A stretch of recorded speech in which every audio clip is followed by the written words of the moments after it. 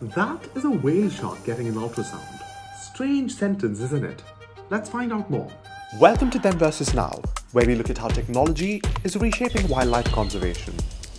These researchers are trying to detect if these whale sharks are pregnant without interrupting their daily lives. Identifying pregnant sharks and where they hang out is super crucial to protecting their habitats so that they and their babies are not harmed. In the past, this was done by capturing the sharks and dissecting them, which risked infections, or even worse, sacrificing the animal. As tech advanced, scientists would capture the sharks and do this instead to take an ultrasound, which is a lot less invasive, but still impossible for larger species like whale sharks, making their pregnancy a very mysterious affair. Now, these submersible high-resolution ultrasounds are doing the trick. Combined with satellite data, this non-invasive method can help scientists determine when and where sharks are giving birth, and also keep an eye on their health. The tech is now gaining traction.